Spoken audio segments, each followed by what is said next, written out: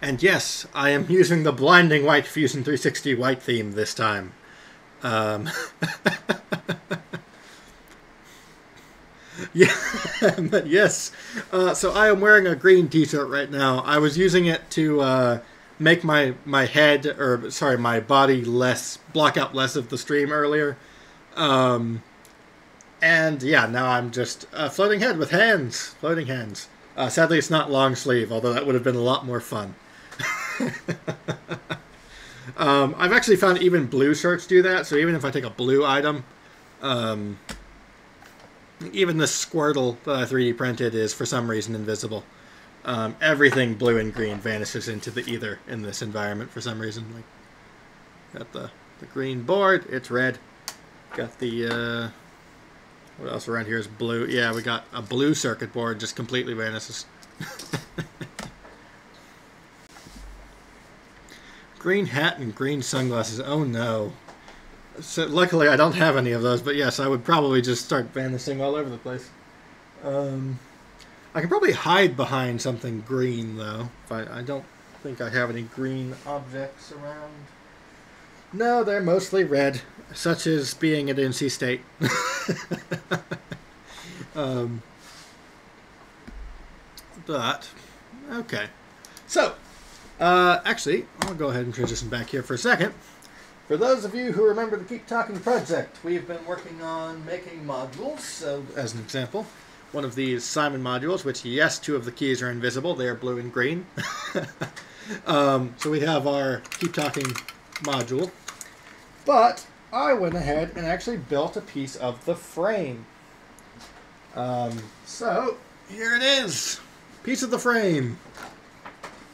Um, I'm gonna have to move back a little bit actually to make this whole, make this whole thing fit in the frame well. Um, so this is a piece of the actual frame. This is how large the unit will be when the project is complete, if everything goes as they currently are going. Um,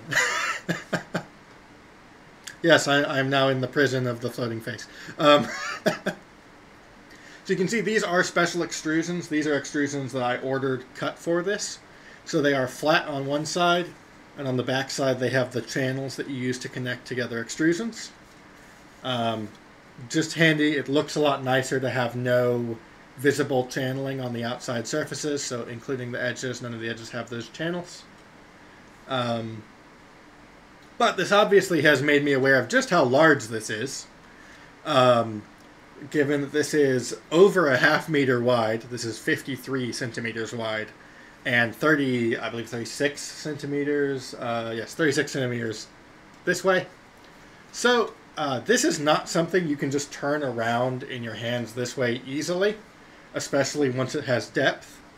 So we're thinking probably we're going to have to add some kind of handlebars to this or it's going to have to sit on a table um, on some kind of like lazy Susan style rotating base that would allow it to move around on the table easily.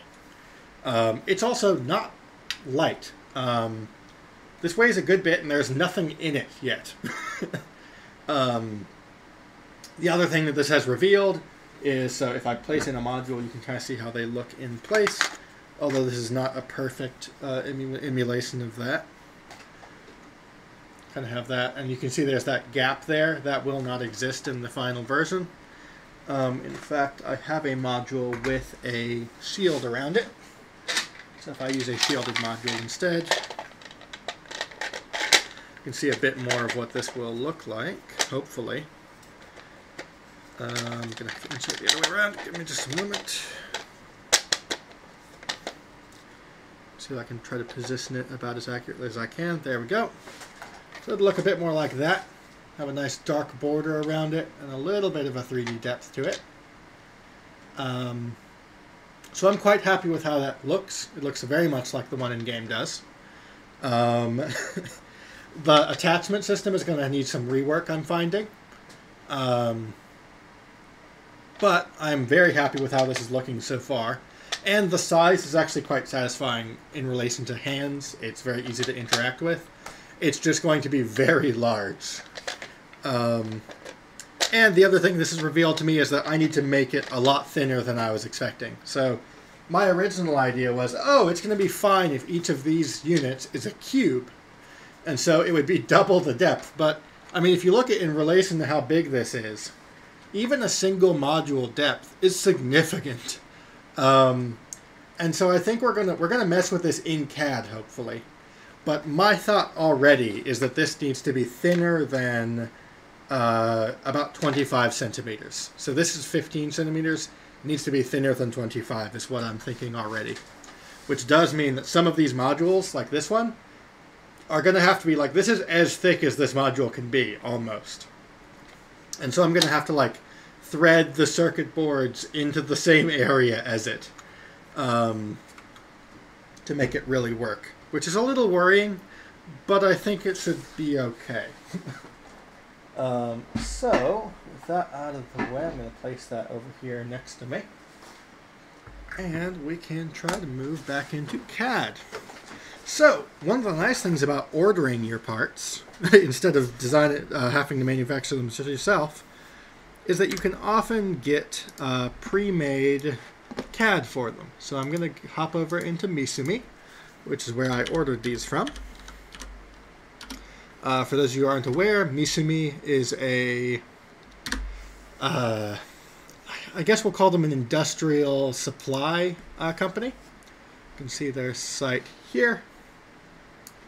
So they are an industrial supplier. Um, they aren't really meant for individuals to be ordering from them, but they don't stop you. Um, and so they sell all kinds of things. The thing that we are using in this case is under their materials. They sell extrusions um, of different kinds, so square metal blocks, U blocks, all that kind of thing. Um, but what we used in this case was the aluminum extrusion. So give me just a moment. I'm going to bring up the pieces we used.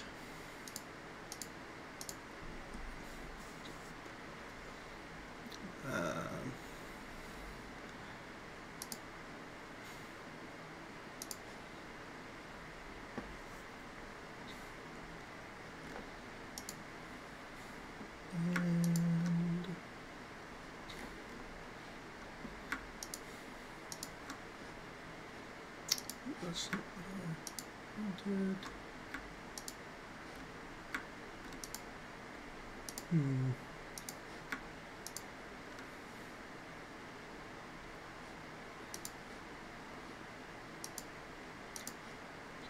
That. Just a moment while I bring these up.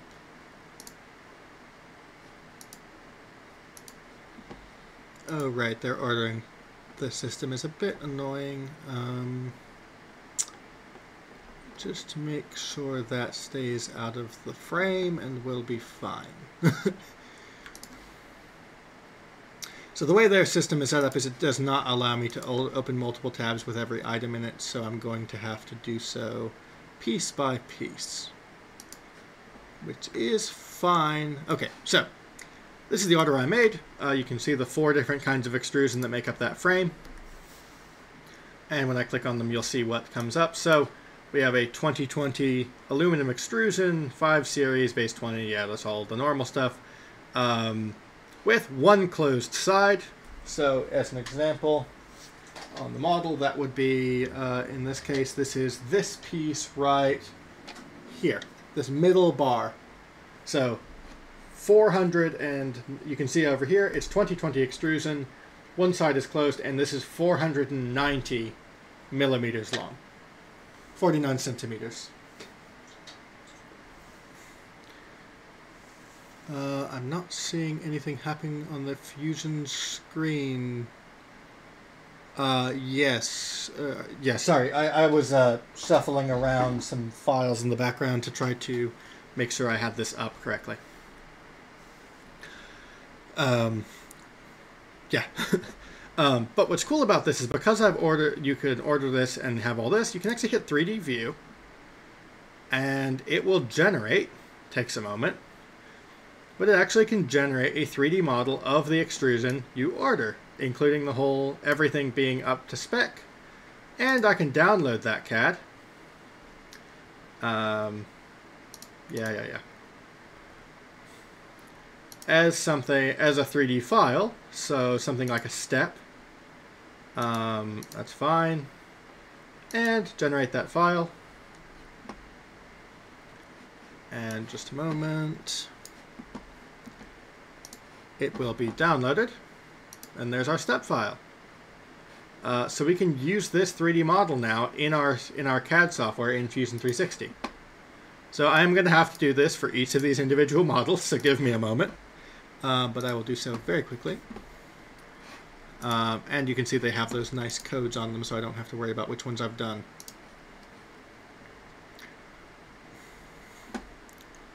Um, I just want to make sure that uh, this should be okay. Uh, yes, okay.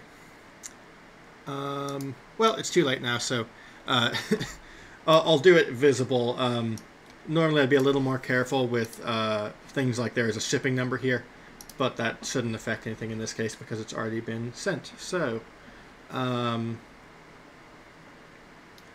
this is the T-Slot 2020 150. So these are the short segments. There were four of these. Um, and I'm going to do 3D preview again. Wait for it to generate the model. So there's our little model, so you can see it's that one-sided closed.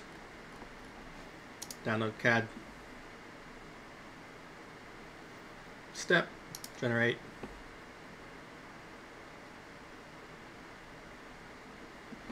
Wait for it to generate. And there we go, download. And there's our 150. And we just do this for each of the four kinds of extrusion that were used in this project. Uh, not what I want to click. Just a second. Uh, Misumi, why is your site so terrible? Um, for those of you want, who aren't familiar with how these sites work, uh, since this is an industrial site, um, they have a million annoying things that you have to do to order from them. um, it's not designed for just a normal cart checkout like uh, most of us are used to, um, sadly. And so you have order numbers and invoices and all kinds of other fun things that complicate your life when you're trying to do normal things with it. Um,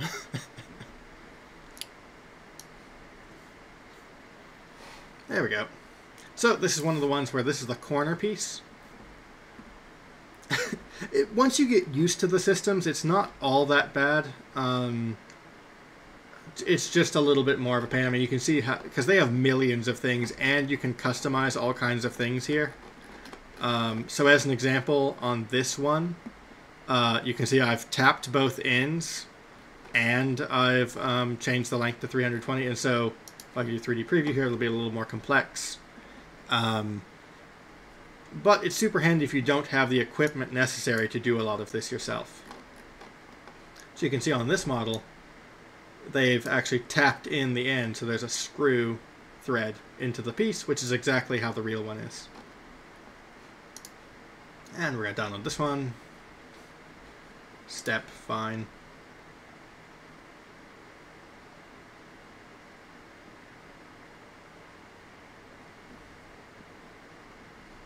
Go.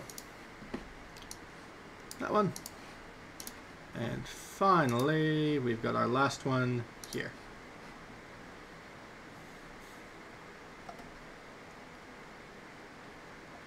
Uh, do you find this is easier to use one type of computer versus others? Uh, as far as ordering stuff or as far as the streaming stuff we were talking about earlier?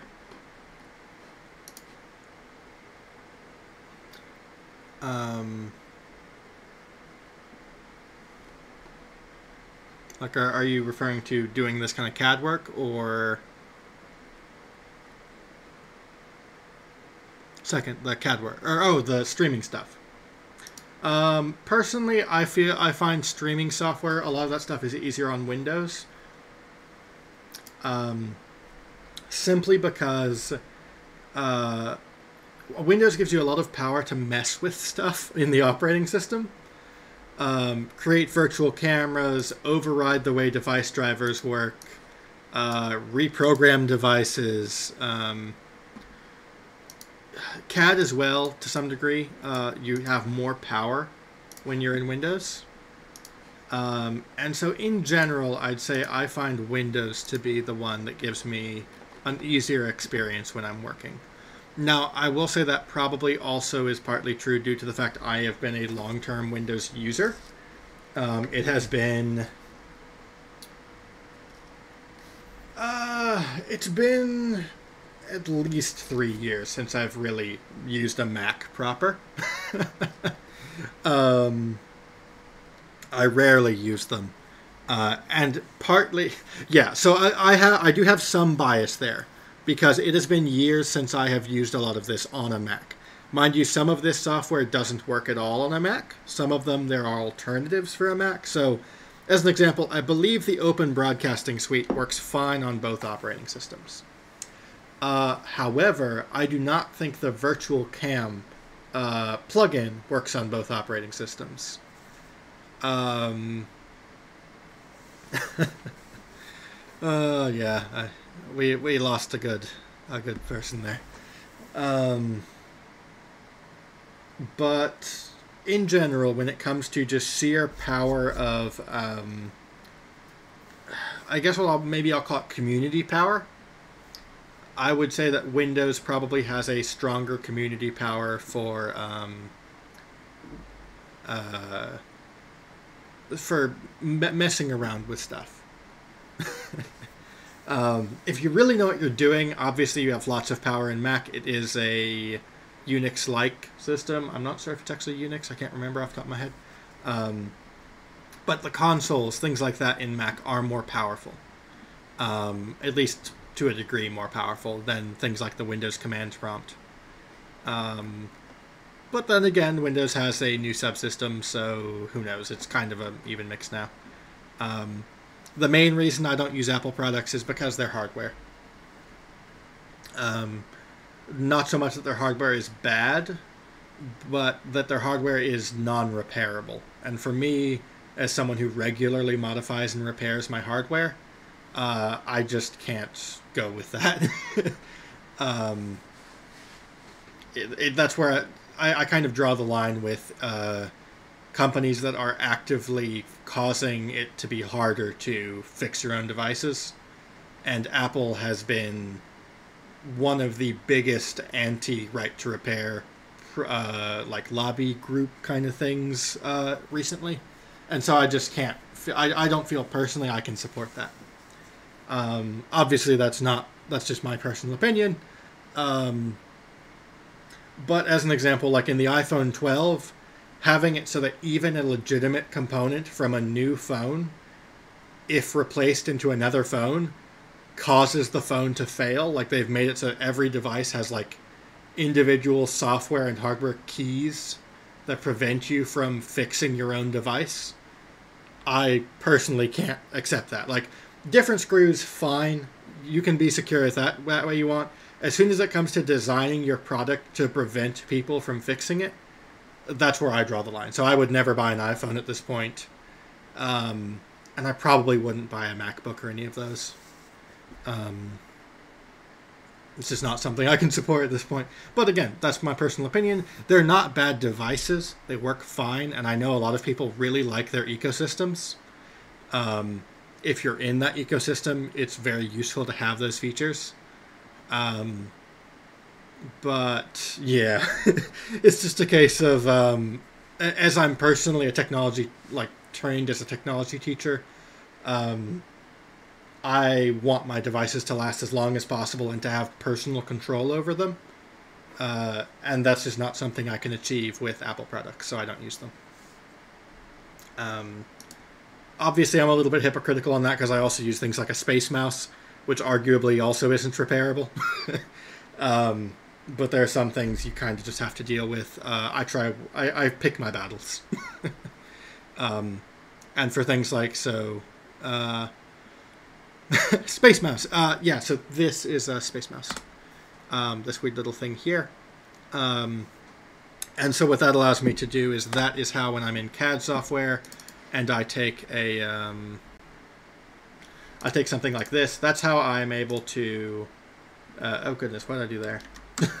That's how I'm able to seamlessly move around like this. uh, in three dimensions is using a space mouse. Yeah. Um, but in general, I would say that, it, like, even outside of Apple products, even in their ecosystem, open source has a place. Um, some really good examples of that are things like the OBS, the Open Broadcasting Suite.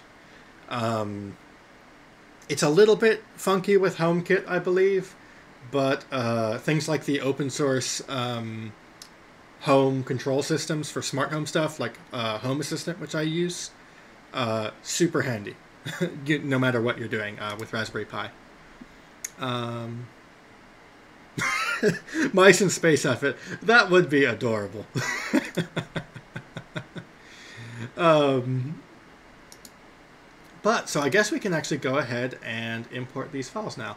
So you're not going to be able to see what I'm doing. It, it is off screen to some degree here. Um, but I'm creating a new folder for um, the, some of the new files, and I'm going to go ahead and start importing them. Um, so for those who don't know, you just do upload, uh, select file, and you grab those, uh, which I think I threw on the desktop. Yep, there we go. Just grab these step files.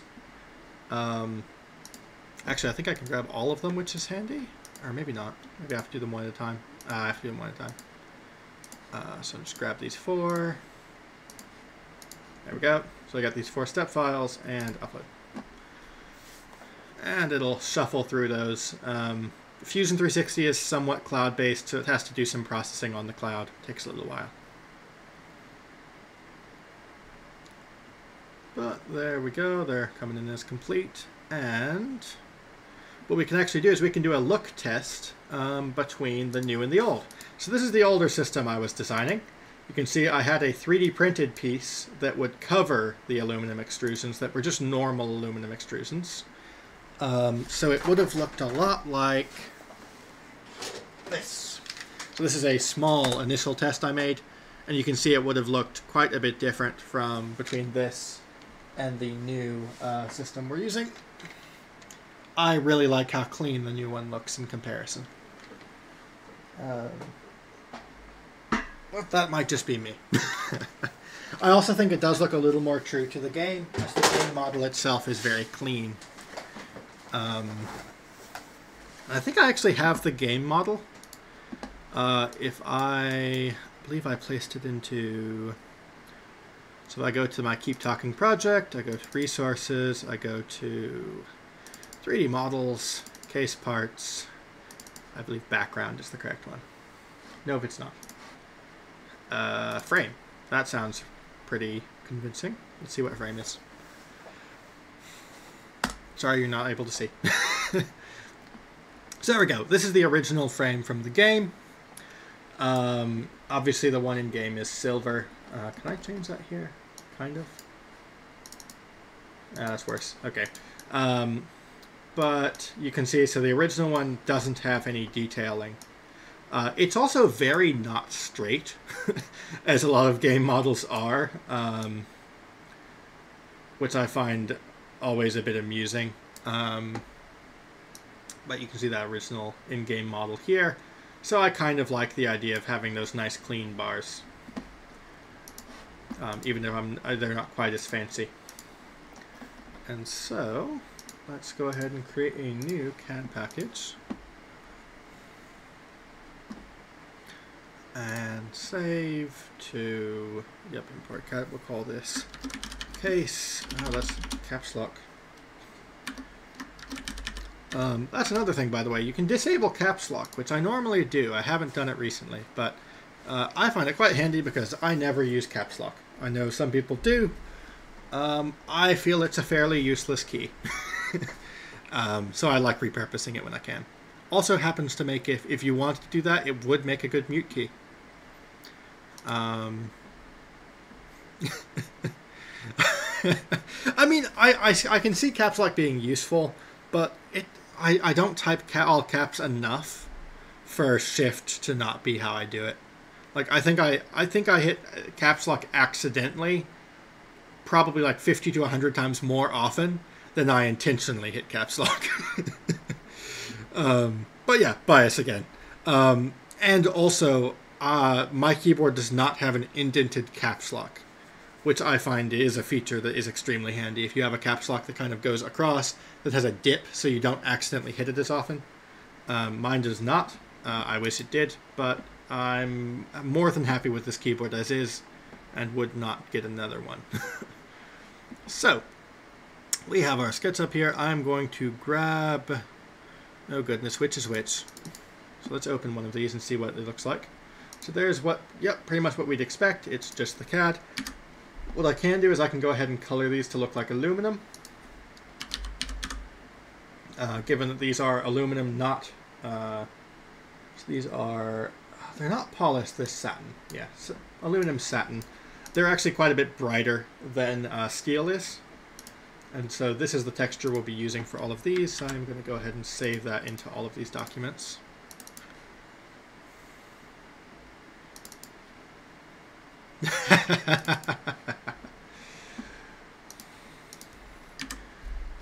yeah, no. Uh, things like caps lock are entirely my own opinion. Uh, and it's just because of the way I use the internet, which I know is completely not how most people use the internet. I mean, most people use social media. I barely do. um, I'm one of the people who saves all the files offline to work on them because I don't trust the internet. um, although I, I, it's been gaining my trust recently. I've started using streaming services, and they are quite nice. Plus caps lock makes it look like you're, you're screaming. Um, yeah, it, it, it does come off like that, doesn't it? I mean, it is useful if you're doing like uh, as an example, if you're doing drafting documentation, you often have to use that. Um, but yeah, it does often come off when you're in like chats and things like that as being like loud. um, yeah, italics are cool. Um, you can kind of type in italics too. Like there are some because of the way Unicode works. There are a lot of letters you can actually type weird versions of um, kind of obfuscated, I think might be the, a term that could be used for it, um, characters. Uh, so, now that we have those four documents in, um, I do find, I really wish more of the internet supported inline formatting, inline markdown.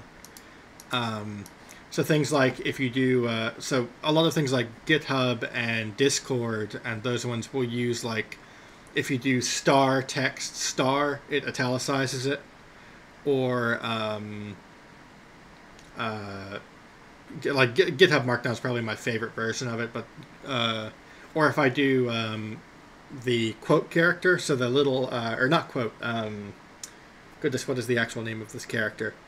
Uh, the thing in the top left of your keyboard, uh, next to the squiggly tilde, um, the little single dash, um, that one allows you to add code to your uh, text. So I can actually bring up an example of that. Um, where's my... Because I have a GitHub that I use. um, so as an example in... What's a good example of this? Uh, maybe Simon Says. So this is Markdown. And so you can see I can put titles, italics, tables, um, bits of code, so things where they're like formatted differently. Um, I don't know if I have any major code in here. Yeah, it's code, so it's basically mono uh, monospaced fonts. All of that within a text file that physically looks like this. So this is the raw text of what I've done. So you can see the pound symbol is the indentation. The little stars make this italicized. The little dots there, little, uh, I don't actually know what the symbol is called off the top of my head, uh, make this look like code. If you do vertical lines and horizontal lines, it makes tables. So you can take this, what is a normal text file. Um, I think that's bolding if you do the two. Um, you can take a normal text file and then convert it into a very nice looking document. Um, and I think this is super handy, personally. I really like this way of doing things. Um, but I know it, it's it's people have mixed feelings about markdowns like this. Um, like I also use it in I think random resources. I have that set up. Yep. So if I go to like I know language, allows me to actually put in other characters, like bullet points, all that kind of thing can all be done within a text file. Um, but sadly, the vast majority of the internet does not support this form of Markdown. Um, it just things like GitHub, Discord as a as a platform has it. Um, I think some other chat systems are finally starting to add it, but it's not very common yet. Um, and so it's super handy because you don't have to have that little formatting toolbar like you do in Word or whatever, and you can still have fairly advanced formatting. Um, but uh, I'm going to start working the cut here. So this is the corner. I'm going to place this uh, 90 degrees here, like that. Um, wait. I actually want to rotate this as well. So it's right here. Okay, so this is the bottom. Uh, can I ground it? I cannot. Oh, I might be able to actually. Um, let's see. This rigid group. There we go. Uh, wait. Come on. Yes. No. Why will it not let me make this rigid? Oh, right. I don't want a rigid group. I want to ground this. Um, ground. There we go. So now this is immobile. I cannot move this part. Let's see, Quizlet, when you bold things with asterisks. Yep, so that's another of those. That's still Markdown again. Uh, asterisks is generally, so generally, uh, I believe the, the kind of conventional markdown, which I don't know who started it. I know Discord uses it, I know uh, GitHub uses it, and a lot of these like gaming and coding platforms share this language together with each other, but I don't know who started it. It's generally single asterisks for italics, double asterisks for bold. Uh, the little, I think it's underlines on either side for strike through. Um, and then I feel like there's one or two other format things that they throw in there. Oh, um, the little, the really tall. What what is this symbol called? Um, Google, help me out. Symbol on next to tilde. What's it called? Back quote. That's the name of it. Okay, back quote. Good to know. Um, so yeah, back quote is often used for code, which causes things to be uh, kind of in these blocky square kind of things. Um, by the way, fun facts. Why don't, why don't we go through some of these because I love them. Uh, I collect these almost. Uh, by the way, if you ever wondered where the uh, octothorpe came from and why it's called the pound symbol, this is how we used to write pound. It was LB with a line through it. And throughout cursive history, it kind of got merged into the octothorpe. um, and so, or hash, I think is what we often call it. Um, also, the pound symbol, the British currency pound, uh, came from this same uh, unit, which is uh, Libra Librapondo is the name of that original unit. Um, but they just took the L from it and kind of ran with that instead of the uh, whole shape becoming it. um, also, this gets underused, and you can't even type it, which annoys me. This is a there is a symbol called an interrobang, which allows you to mix together the question mark and the exclamation point into a single symbol, and it is my favorite punctuation mark. so you instead of do if you instead of doing like exclamation point question mark exclamation point question mark over and over, you can just like type two or three of these and it's like double them. So you can just do that. Um, I love this symbol. It makes complete sense to me that it exists, but uh, sadly, it's quite hard to type. um, let's see, anything else fun? Oh, that's a fun one too. Right. Uh, if you ever see ye at the beginning of something, so like ye old, what what we say ye, it, it's actually just pronounced the, um, or the, I guess you could say.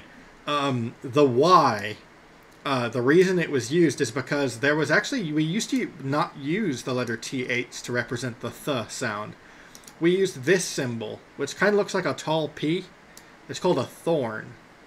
And so this thorn symbol, uh, they needed something to replace it uh, because it didn't exist in the Germanic printing presses. And so they actually just started using the Y to replace the thorn when they were printing on a printing press that didn't have a thorn symbol specifically. And so over time, um, the the Y became the kind of standard fall in for the thorn symbol. Um, eventually, we started writing it out as th, like we do now. Um, but so when you when you see ye, it's actually meant to be thorn e. Uh, this symbol, the kind of P looking symbol, uh, when it's capitalized, it looks a lot more like a Y. Um, and so it's pronounced the, um, which I find hilarious that somehow, like, a mis- kind of a, a, like a holdover or a, a shorthand we used in the past, we forgot what it actually meant. And so now we use it in the entirely wrong way. um, Oh goodness. Uh, okay, yeah, Bouba Kiki. That's always a fun one. Oh yeah, and then this just is annoying to me. Uh, red and lead or read and lead rhyme two different ways, and they don't rhyme two different ways because English. um, I think there are a few other cases of this, but this is just hilarious to me that we have two words that both rhyme and don't rhyme two different ways. um, anyway, I have all kinds of stupid things in this. Um, we got some vocab.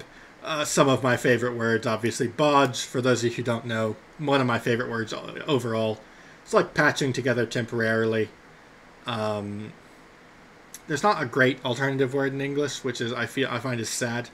We often say hack, tinker, things like that, but um, like hack together something. But bodge is so much better. Um, this uh, is one of uh, the words that came out of a mistake. Um, yeah, yeah, educational stream, why not? I love doing this stuff. So, for those of you who haven't heard of a clbuttic mistake, um, this is what happens when your code kind of goes rogue and has some unintended side effects.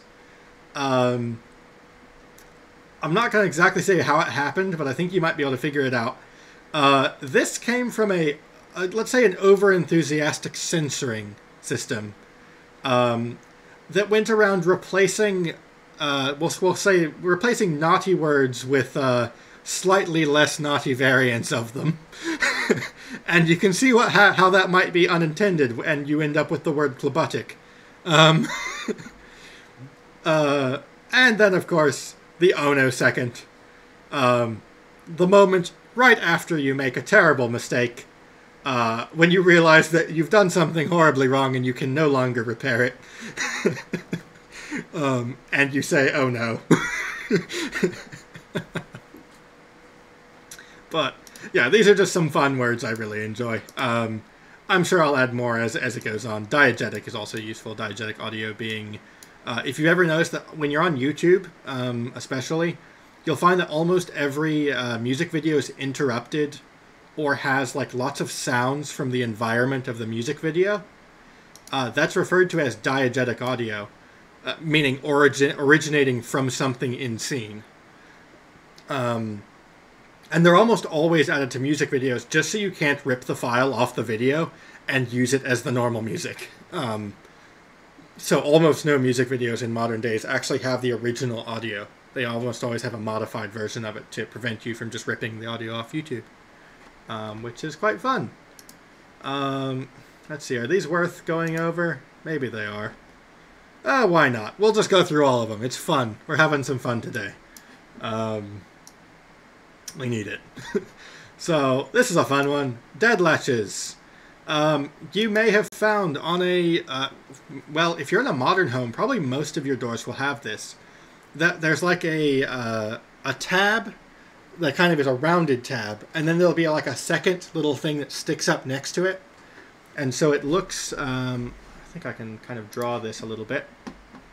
Um, Okay, speed CAD time. Let's make let's draw what this looks like. Um, let's do an arc. Something like that. And then that, that, that, finish, extrude this here, works. See how fast I can actually CAD this. This, uh, normally a little shorter, and then sketch there, arc, here, here, there, there, there, there. But, but, ba. Da, da. Uh, somewhere here.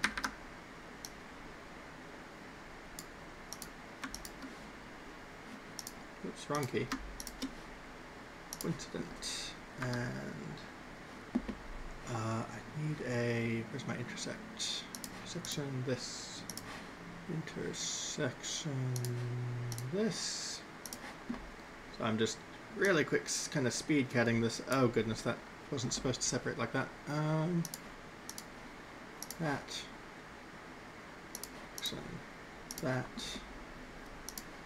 Uh, time to use a lot of collinears. This. This. This. This. Horizontal. This. This. Oh, whoops, right. And. Oopsie.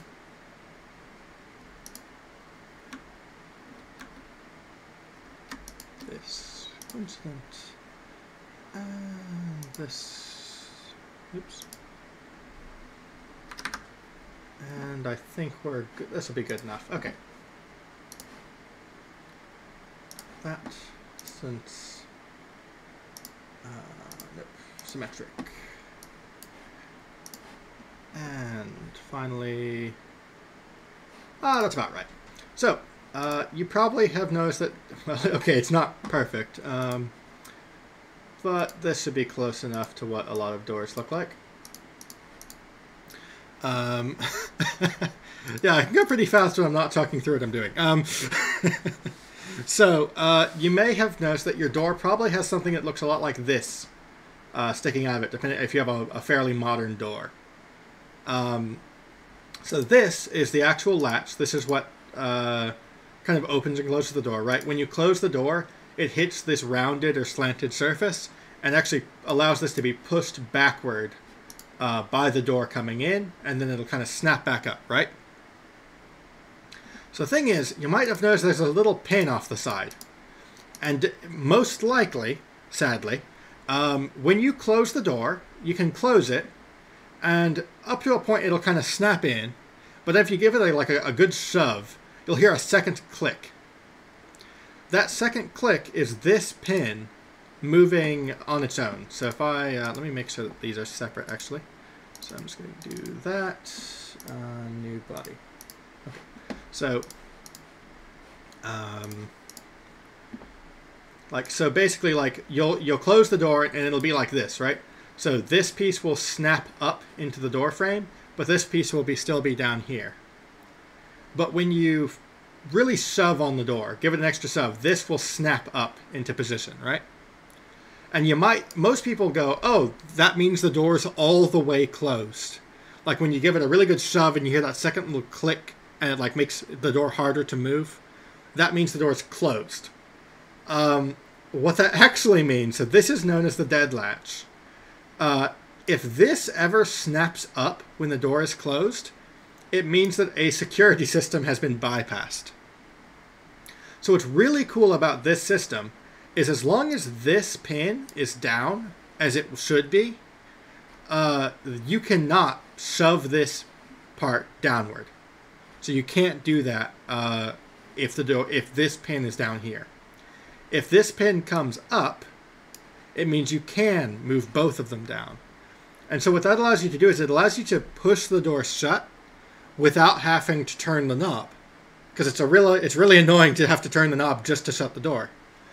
Um, but if you think about that, being able to shut the door without turning the knob also means that if your door is locked, someone could just shove something into the spot here, like shove something into here, and push this down with like a piece of cardstock or something, and it would unlock your door. It would completely bypass the lock. And so the point of this little pin is to stop that from happening. As long as this pin is down when your door is closed, you, no one can shim your door open.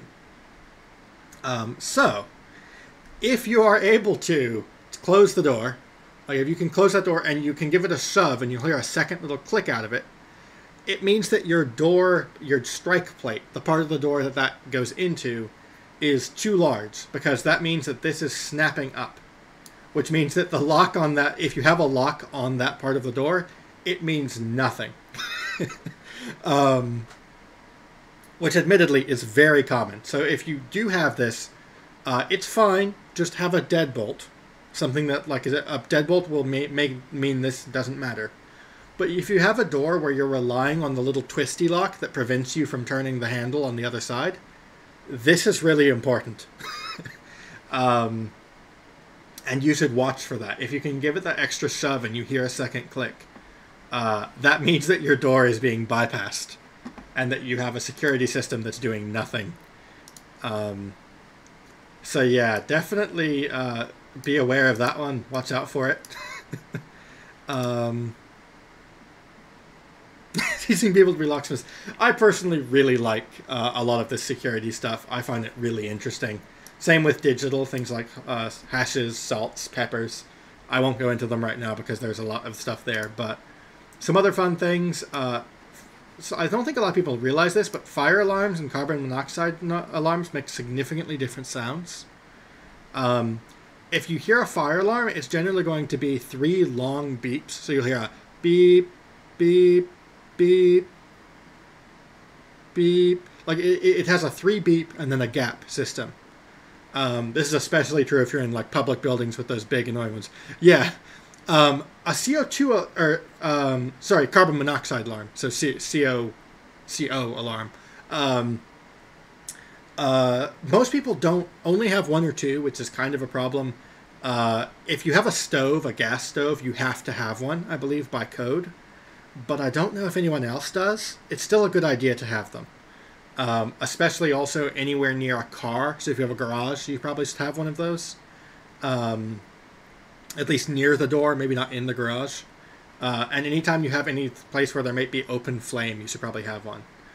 But uh, these make a much more of like a beep beep beep beep beep beep beep, like it's a it's a much it's a, like a chirping, uh, quick alarm, generally four blips, um, instead of three beeps. uh, and it can be really nice to know that because if you have an alarm that is a mixed use alarm, so a lot of fire alarm like you can get a CO uh, a carbon monoxide fire alarm combo alarm. If they don't talk, you can use that beep pattern to find out which one it is. um, now, mind you, there's no difference really from what you should do. Both of them mean get out of the house as fast as you can. um, but if there is no fire, but it's making the four beeps, you should be very worried because carbon monoxide is arguably, I would almost say, more dangerous than fire. Because fire, you'll obviously see the fire, at least at some point. Um, carbon monoxide, you'll get tired. It basically suffocates you slowly. But you can't tell you're being suffocated unless you're aware of what's going on. You might have a headache. Um, and so, especially if there's an issue where there's not a bitterant in gas, and that's where the carbon monoxide is coming from, yeah, it will easily kill someone, and they won't even realize what's going on.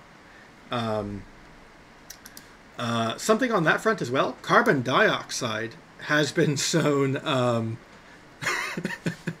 um, yeah, really. Uh, carbon dioxide is also, uh, interestingly enough, something that does cause effects on people. It's not something that will kill you, um, but more and more research is showing that carbon dioxide is a um, causes lower performance in humans, I guess we'll say, um, to the point where you are slower. To, you're like your thinking is slower in an environment with low oxygen slash high carbon dioxide.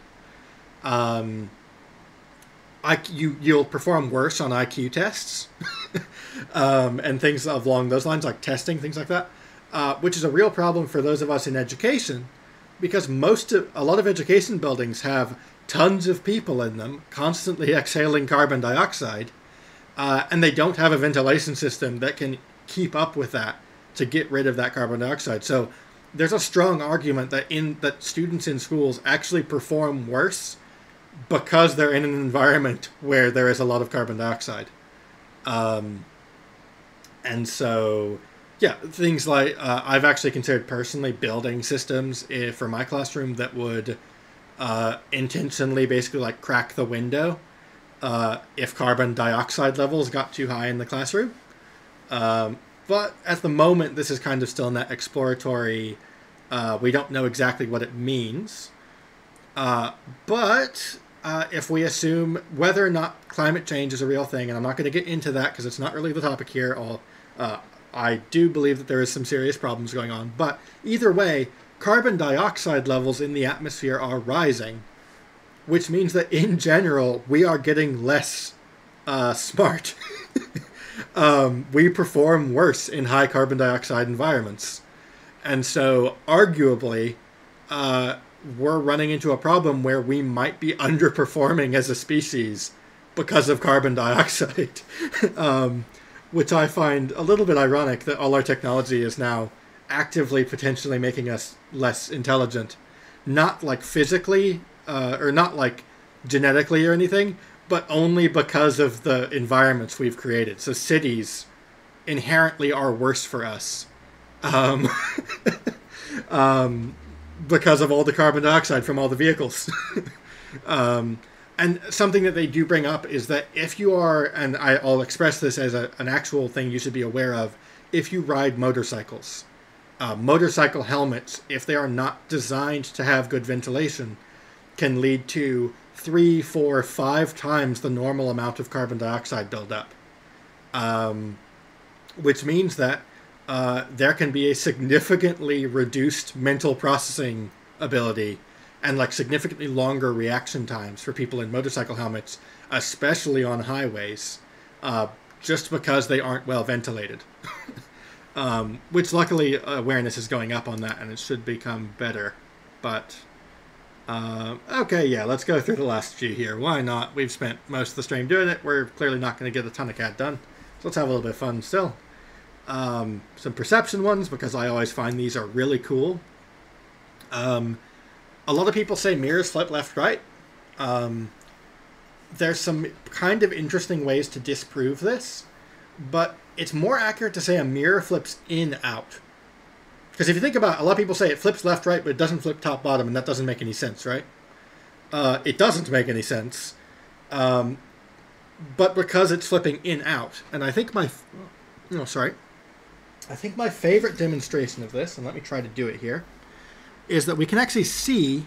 Uh, so a lot of people think that the reason that mirrors flip in out, that things are mirrored, is because when you write text on a piece of paper, it's backward, right? So if I uh, light, write, um, let's go.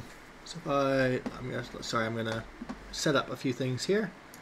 So I can kind of demonstrate this because I think it's a really cool demonstration of the reason that we think they flip uh, right left, but they don't.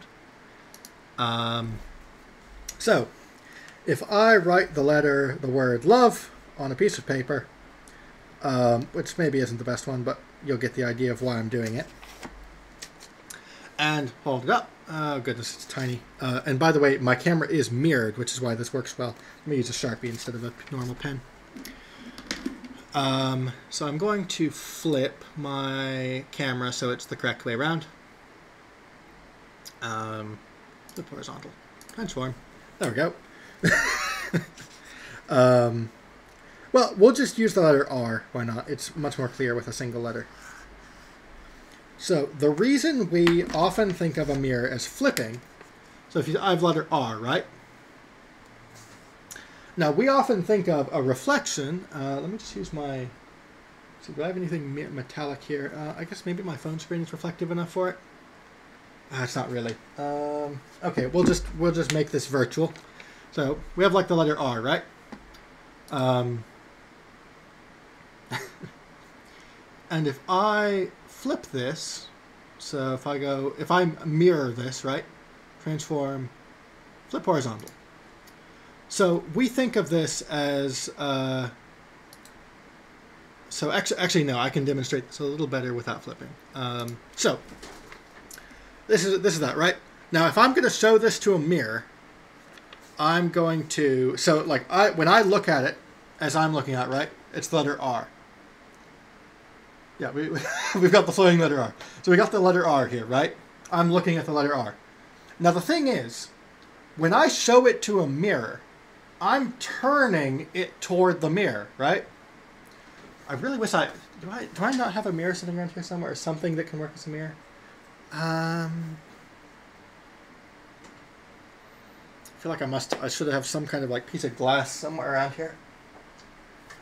Uh, well, is the phone screen visible enough? No, you can't see the reflection at all. Um, okay, fine. Well, anyway, when I'm looking at it, right, I turn it toward the mirror. And so the thing is, is I like I'm turning this over to face the mirror. Um, and so it's not that it's backwards. Because, I mean, if you look at it from this side, like the side that's facing me, it's backwards to me too. um, when I, because I've turned it to face the mirror. It's not that it's flipping it. Because if you think about this side facing this way, it's the same thing as the like the through the card, you can actually see it the same way. And so this way, or the R, if I had a reflection of it, would be the correct way, um, which is why I want a mirror. Um, there must be a way I can do this. Oh wait, I think I might have an idea. Um, let's try this here really quick. So if I use a camera as a mirror instead, uh, flip it around. Let's see.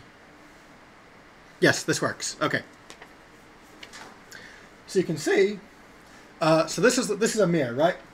Uh, let me brighten up the screen a bit.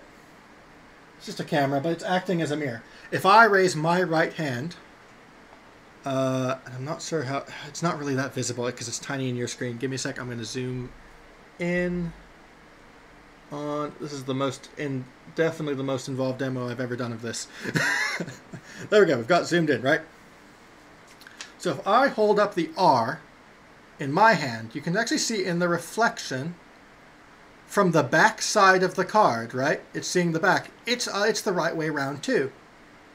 When I'm holding up something in front of a mirror, it's only because I take this and I turn it to look at the mirror that it's backwards. It's actually just flipping it in and out. um, and so it, the only reason we get this idea that like I raise my right hand, it raises its left hand. is because we're mislabeling the hand. Because we're flipping things to look at them in the mirror.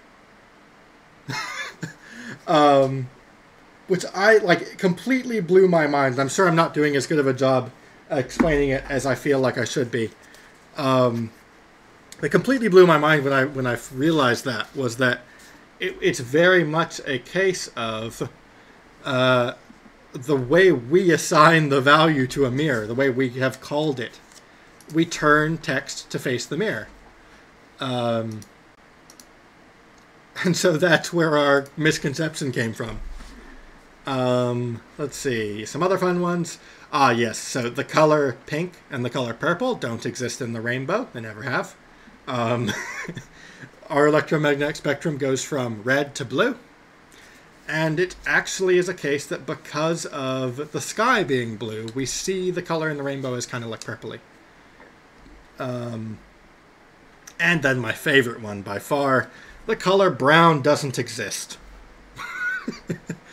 um, the, color brown not existing, or the rainbow, you're, you're in denial of. because I can actually demonstrate the reason why the color brown doesn't exist, and it's really cool. Um, oh, the rainbow. So the thing is, if you look at like a picture of an actual rainbow, um, so let me see if I can find a picture of one, which is probably not going to go well because all of them are fake. Yeah, a picture of an actual rainbow, it's just dark blue. This is blue. um, it's because there's a lighter blue next to it that we see it as being like a purple color. Um, if I color pick um, the color here, that's not, no. Color picker, come on. Color pick. No, wait, I want to grab the color out of the screen. Where's the, uh... Pick color from page. There we go. Right here-ish. That, that's definitely blue. um, but but it's it's because of our perception we see this as being like a purpley color because of how it's uh, in perspective. Now, mind you, if you have a rainbow like this, yes, this is purple. When the red from here overlaps with the blue from here, there is purple. So if you have a multiple rainbow, you can say there's purple in the rainbow. But, uh, yeah, things that where you have an actual purple color like that, it's it's not purple. uh, this is the color of the rainbow, and this down here is the indigo color. um, but what's also cool, and I think this is personally, I think that the color perp, uh, brown is the more interesting one, is that the color brown really doesn't exist, like in a much more literal sense than the other ones. And I can demonstrate it using Photoshop, which I, uh, is interesting. Um, if Photoshop was uh, working, what, what happened to Photoshop? Windows, what have you done? Adobe. Photoshop, goodness.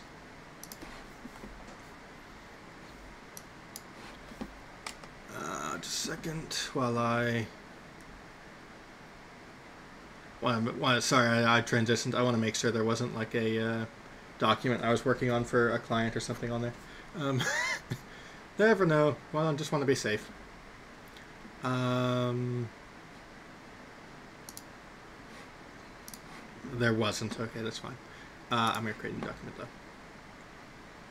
So, if I create a document here, we have a white background, right?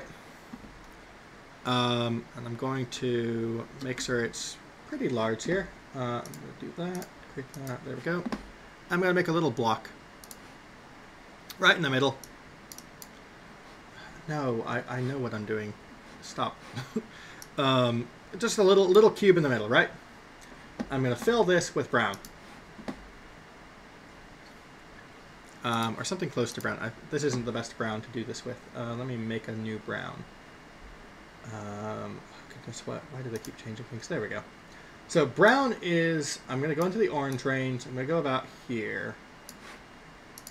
Brown, right? That's brown. Uh, does this, do people agree this is brown or is this too bright for brown?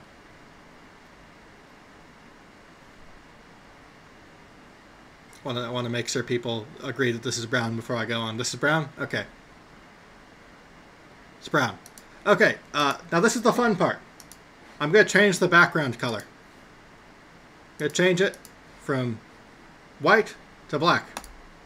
It's orange now.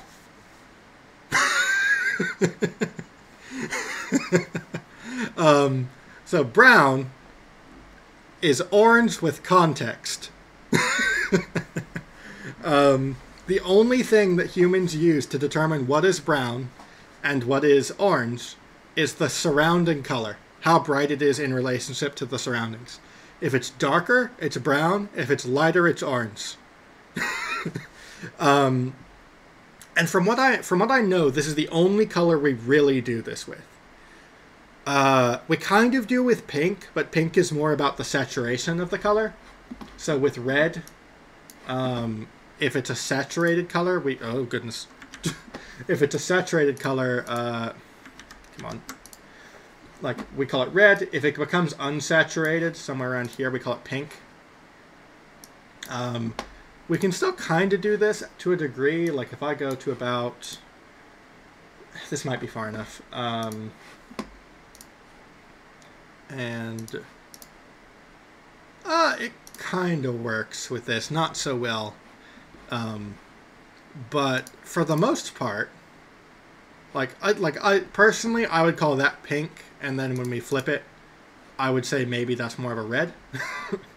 um, not, but that one's definitely more up in the air. But it's really interesting that because we have a linguistic name for those colors, even though they're just different brightnesses of the same color.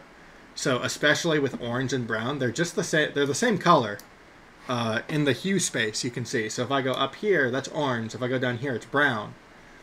Uh, the only thing that determines it is the brightness. And so we've determined that these colors are what we call them.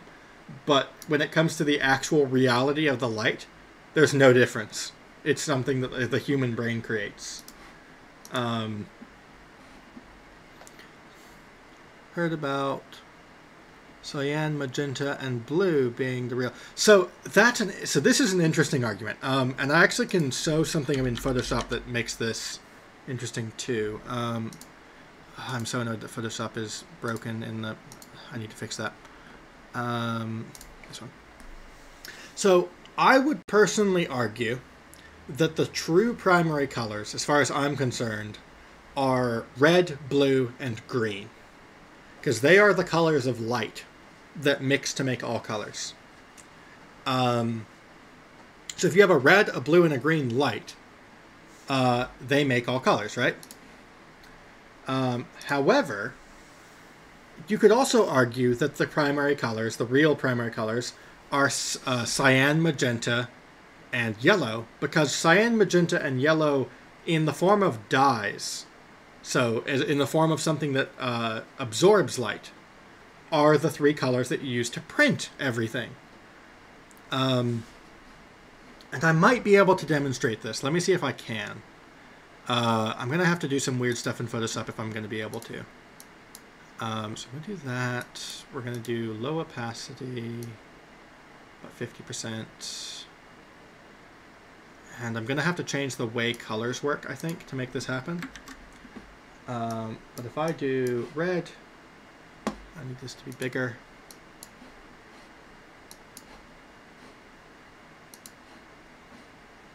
Uh, that might be big enough, and then low hard, no hardness. Okay, red.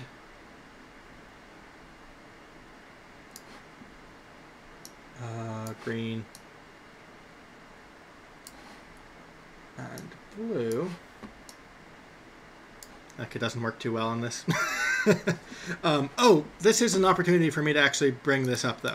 So, something that a lot of people uh, don't realize about the way colors work on monitors is that we don't store colors as perfect values. Um, and I'm gonna, I need to turn it the opacity, there we go.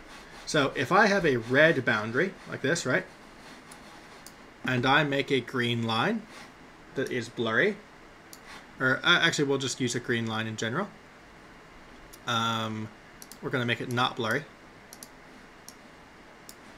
That looks okay. But you'll notice that if we start blurring it, so if I go filters, uh, blur, I'm going to do a Gaussian blur. See how there's all of a sudden like a brown, a dark brown line in between them? And that doesn't make any sense. Like, why would there be a dark brown line between them? And it turns out this is because we store color the way that human eyes kind of uh, kind of see because human eyes are much more sensitive so the uh, i can show we see logarithmically. Um, if you think about like the beginning of our sight uh, if i double the brightness of a light so let's say i go from i don't know 100 lumen to 200 lumen uh, it gets double as bright right? But if I go from 200 lumen to 300 lumen, it's not double as bright. It's gotten 100 lumens brighter, so it's like an extra half as bright instead of being double as bright. Or I guess it's double. Yeah, you, you get the idea. And so because of that, we store color information in a scale that is uh, not matching how we see. And so when we mix red and green, we end up with this like muddy brown between them, which looks terrible. Um, but if I use a blur, uh, and I have to go into the color settings for this, if I change my color settings to use, oh goodness, where's the button for it? There we go. Mix RGB colors using gamma instead of using, uh, yeah, I believe this is the switch for it. It will now switch into a mode where colors are treated as humans see them, because gamma is logarithmic. And we should be able to do a blur now.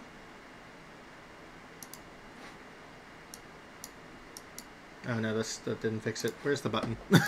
I, I, it's been so long since I've actually messed with this, I couldn't remember where the correct blur tool is. Um, give me just a moment. Blur. Is it lens blur? Is that what I need? Mm.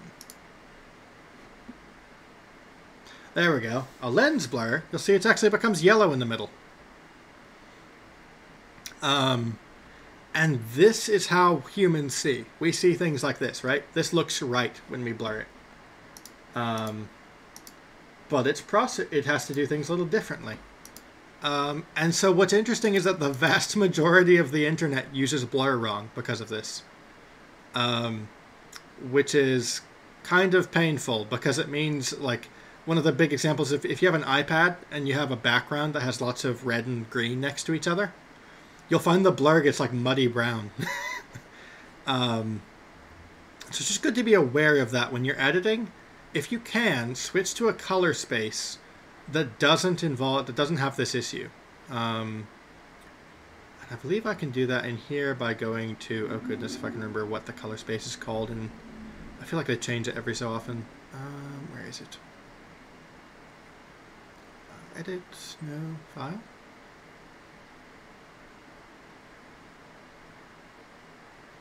hmm.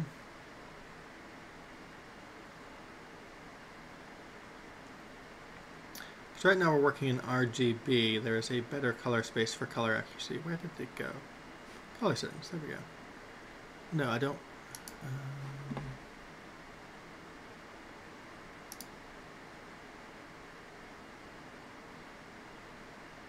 I want the. Uh, that's fine. I, I don't want to work on that. I want to work on. Oh goodness, where is it? I need to switch the document into a different color space. Uh, here we go. So if I switch this into something called lab color instead of RGB color, you can see now, so one thing you can see that that previous line I drew has that dark edge in it. And I'm actually going to demonstrate this even more clearly by using um, uh, a brush that is not a perfect, uh, like sharp edge. So if I make this not hard and use green. You can see we get this nice, like that's a very nice color transition there. Um, we kind of got off topic. We were originally going to do fusion, but we ended up talking about random stuff for a while and got into uh, color spaces somehow. Um, so we were just talking about the fact that uh, by default, Photoshop uh, uses a color, the color space RGB. And let me actually make this so this is fully visible. Oh goodness, come on. There we go. So by default, there we go. Um, if you go into the image adjustments, uh, or sorry, mode color, it'll be on RGB color. And you can see that red and green look terrible next to each other. you end up with this brown muck color in between. Um, but what's interesting is if I go into image mode and switch it to lab color, which is color that is automatically logarithmically, it actually looks correct. yeah, we started off with uh, showing some of the stream uh, stuff, OBS, how this works, um, and then kind of we're going to move to Fusion, but got off topic pretty quickly. Um, so I wonder if I can actually show this in a way that. Uh, I think I can. So let me grab a um, be I'm going to grab an image uh, of something very colorful from an open source, from a free place to get pictures. Uh, probably something like Pexels. Um,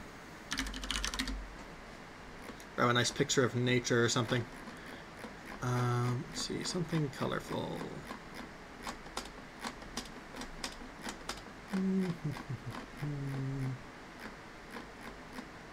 And I know it's off screen. Oh, it'll be on screen in just a second. I'm just trying to find something. That has a fair amount of different colors near each other.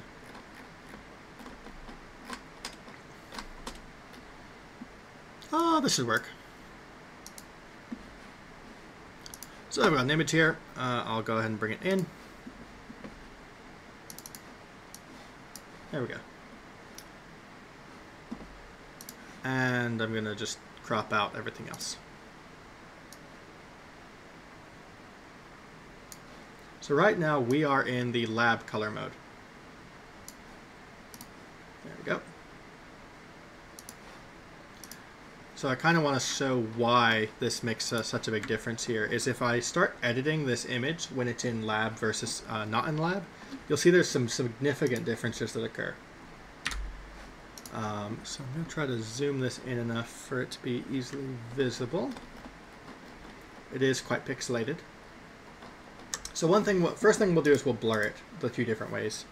So I'm going to duplicate this layer. Guess we've gotten off topic into Photoshop now. Um, stream of oh no. so if I blur this, uh, using standard Gaussian blur, uh, we'll go about to 5 pixels worth of blur. Right? So this looks quite nice. Um, I'm going to actually bake in that blur, so I'm going to do a rasterize layer. So now this is a confirmed blur, we can't undo it. Um, I'm going to duplicate this again.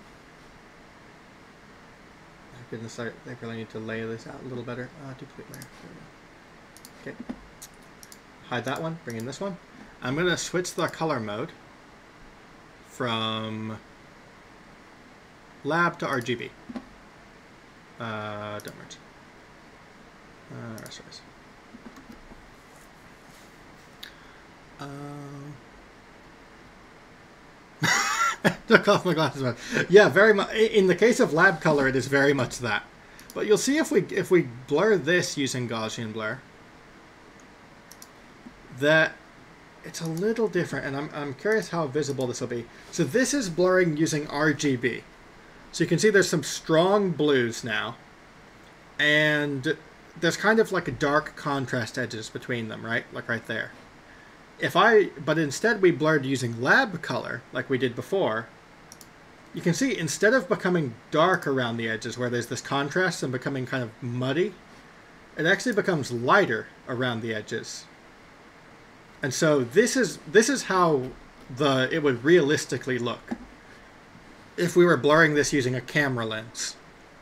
I mean, not quite because it's Gaussian blur, not lens blur, but that's another issue. Um, but if we RGB blur it without using a color space that's designed for acting like a camera, we get these like darker, more saturated, muddier colors. Um, so I found when I found this out, it's really interesting because you don't notice it a lot, but especially when it comes to blurring things that have lots of color in them, you'll definitely notice that it, you'll get better results using lab color. um, it is really subtle on this picture though. It's just like around the edges of things. Um, it's much more obvious with strong colors, especially opposite colors like reds and uh, greens really clash when they're blurred. Um, I think I can also kind of show what how lab color affects um, something like, let's see if I can do this, uh, duplicate, I'm going to duplicate again, and again,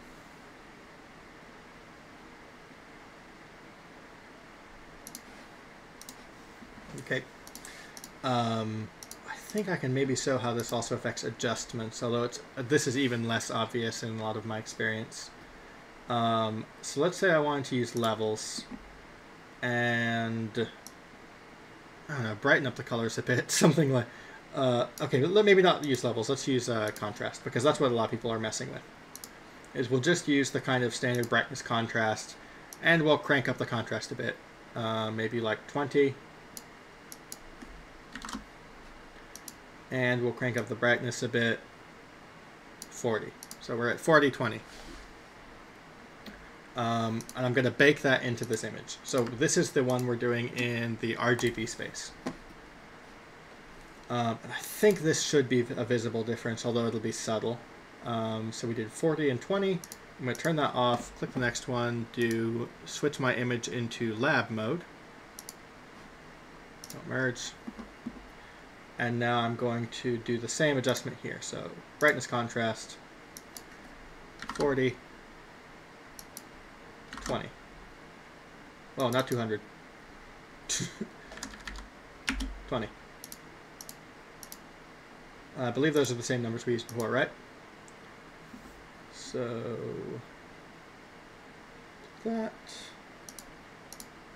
that, and then I'm going to merge these into one. Uh, where's my merge button? Merge layers. So this is the RGB way of doing it. This is the lab color way of doing it. So again, it's one of those subtle things of, and it's almost stylistic in this case, but you can see that this is way too saturated for being bright. Um, it, it looks like it's fake in, a, in an interesting way. Whereas lab color, because it's emulating what an actual camera lens would do, kind of gets this softer, lighter color as I brighten it. Um, it's even more obvious if I like if I'm taking the original and I'm messing with these sliders, uh, not not levels. I want brightness. You can see that the brightness slider, like, kind of changes it. So they you see things become white in the background as they get brighter. Um, and as contrast occurs, they kind of brighten up as well. They become sharp. Um, so you get these strong, and when it gets darker, you can see that the colors kind of get dim, but still maintain their saturation.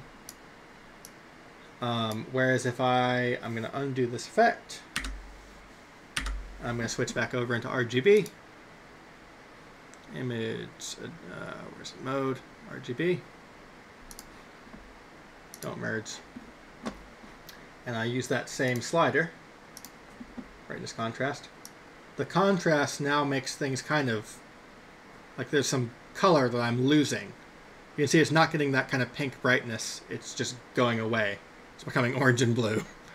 Um, and if I brighten it, it kind of becomes yellow and you get these weird harsh edges like that. In lab color, we didn't get any of these artifacts from... So you can see like if I... So actually this is an interesting comparison. So I'll do this one. Um, let me duplicate layer, yeah, that. So this is maxed out everything, right? So if I take this and this and merge them, hide it, bring back this one, switch over to lab color,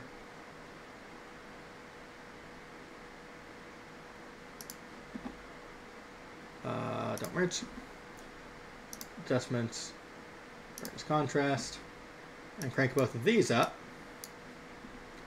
we can see just how different the two the two are from each other. Like this one creates this like lab color really creates like this over brightening of things. You can see the kind of pinks and blues, but you can see they're still kind of almost hazy when they become mixed. Whereas RGB crushes the color into these sharp, harsh colors. um, and crushing is probably a pretty apt word for it, given we're hitting a bitrate limit of, of RGB's ability to mix colors. Um, and so some people would argue that this is less appealing, like this kind of became uh, almost a little gray compared to the like absurdly vibrant RGB. But I would also argue I think this is more realistic looking than this vibrant RGB. um, and this all has to do with the way we perceive light versus the way computers store light information. Um, which I don't think we have time to get into because we have like five minutes left. But um, hopefully, this has just been interesting for. So, what I would recommend is if you are using things like Photoshop or because uh, we do this often in the space with image editing, um, or if you're in the design, any of the design spaces, pay attention to what kind of color you're using. And if you're doing a lot of editing on an image, switch it to lab color mode instead of RGB. You'll get better results uh, long term. And you can always change the color bit depth information. So also in mode, you can see that we can change it to 16 bits instead of 8 bits. Even though there isn't any information here, that like we're not adding information by changing it to 8 16 bits. Like you see it remains the same. What that allows me to do is when I do something like a blur, I lose less information about the image um, because I have like I'm expanding the amount of information the image can hold, so that when I uh, blur the image or darken the image or brighten the image, a lot of that information still stays there, so that if I need to change something later on, I didn't like I, I didn't compress the image in a way that makes me lose that information. Um, which sadly is what happens if you which is why I would I would recommend always keep the original images when you're editing because you can even if I can technically undo something I've done, the vast majority of image editing things uh, are mathematically non-reversible. So if I go into this image and I do a levels on it, and I crush the levels, uh, why is that not happening? Uh, oh, that's why. There we go. And I like crush the levels to bright, or I crush the darks, something like this, that information is gone. uh, even if I un even if I take this image and I then made another levels after it to try to like undo what I've done, you can see it doesn't work. Uh, the information is lost forever as far as the uh, file is concerned. And so the nice thing about having more color space is you can sometimes undo a little bit more of it. Um, not perfectly, but it helps. Horror movie flowers. Yeah, we've really messed up this uh, wonder, this beautiful landscape, haven't we? We've just created something entirely uh, nightmarish. Um, but okay, um, I guess we'll kind of stop trying to do new stuff here, and we'll uh, call it. So, are there any more like last questions? Anything someone's interested in? Um, I mean, I just imagine like this now. Like if if you had like the people are like this big in this like like alien forest kind of thing, yeah, that would be terrifying. um, and that just looks like some kind of I don't know, like irradiated. um, zoom out a little bit. Yeah, we've definitely uh, have destroyed this image.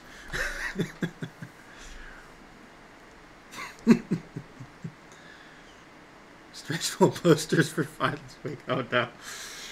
Uh, admittedly, this is pretty cool looking. Like it's not really what we're. Let's see. Uh, we'll do a final. Um, see what happens if I blur this. Blur. Lens blur. Hopefully this doesn't. Oh, that actually looks quite nice.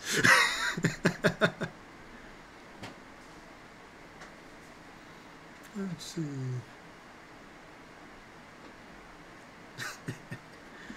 uh, that semester's going pretty well over here. Uh, I'm I'm working through it. Um, so, not sure what we'll be doing next week. I think next week is the last set of streams we're doing before the break.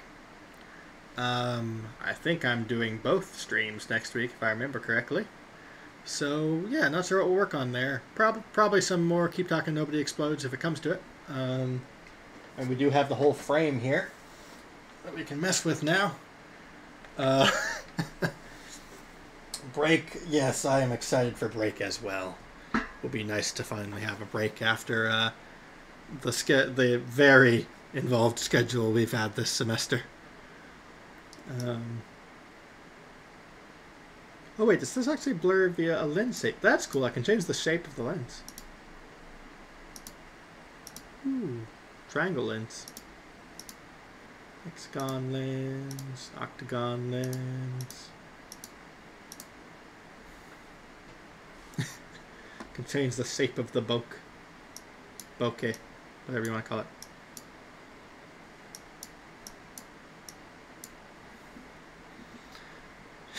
Geometry. uh, this blade curvature. Oh, that's how round it is. Cool. See, if you want to make a circle, you need more blades. Cool. well, I think it's about time we probably called off for the night. It's 8 o'clock here. Um, hope everyone enjoyed our completely off-topic stream. Um, uh, before we close the stream, I'll just go ahead and change the title in case it changes it permanently to. Uh, um, I'm, I'm, not sure how we actually store the name, but we'll go with uh, making the most of space. Followed by.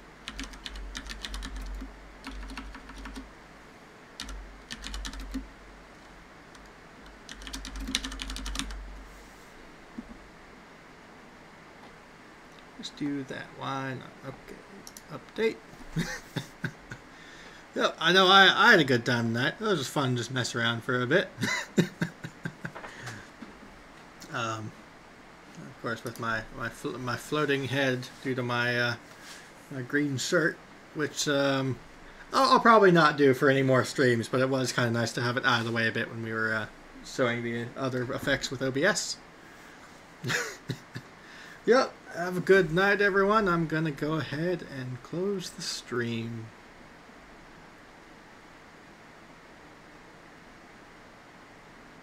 Bye bye.